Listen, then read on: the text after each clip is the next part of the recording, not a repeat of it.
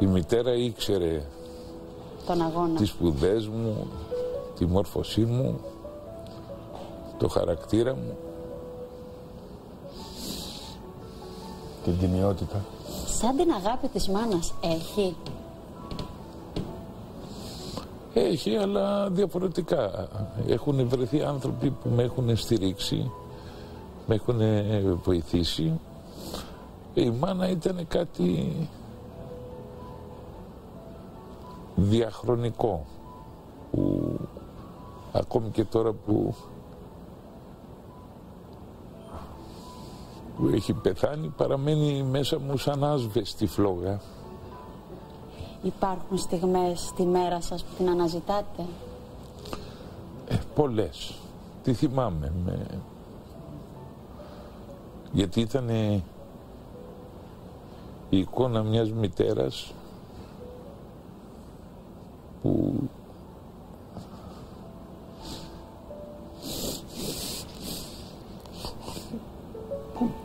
για τα παιδιά τα δίνει όλα.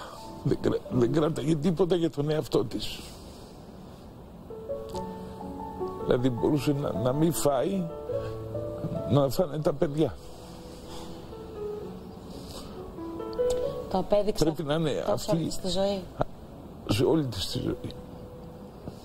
Και στο τέλος της ζωής της, ε, όταν μαζευόμαστε σε γιορτή, λέει αν περισσεύει φαΐ για μένα να φάω. Ήτανε... Εμένα μαζί Δεν σας. υπάρχουν τέτοιες γυναίκες τώρα. Εμένα μαζί σας. Ή έμενες σε ξεχωριστό Έμενε με σπίτι; την αδερφή μου. Έμενες τώρα στο τέλος, έμενε με την αδερφή μου. Γιατί ήθελε και φροντίδα τώρα τελευταία. Ήτανε μια χαρά μέχρι τα 95, αλλά είχαμε ατύχημα. Έπεσε, έσπασε εδώ και μα- από εκεί πέρα μετά από ένα χρόνο πέθανε.